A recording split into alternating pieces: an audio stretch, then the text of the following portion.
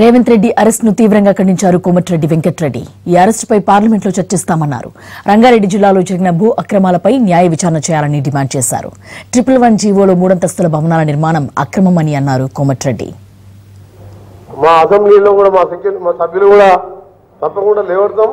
Triple one జీవోతో పాటు IPC one eighty four one eighty seven eleven read with five A air craft act case నమోదైంది అసలు lease ఎవరి పేరు మీద తీసుకుండ్రు? ఎవరి దగ్గర తీసుకుండ్రు?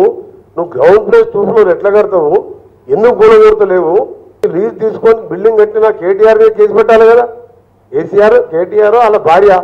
ఎవరు లీజ్ తీసుకొని వాళ్ళ కేసు పెట్టాలి. అక్కడ కట్టడానికి వీలే లేదు. గోపన్పల్లి భూములు అంత అవినామా చేసినావు. మొత్తం మొత్తం మొత్తం ప్రపంచం మునిగిపోయింది మొత్తం. వేల కోట్లు రేవంత్ రెడ్డి సోదరులు ఆక్రమించినాను దాని ఎందుకు కేసు పెట్టలేను మరి? నీకు దమ్ముంటే దాన్ని ఎందుకు కేసు పెట్టకుండా?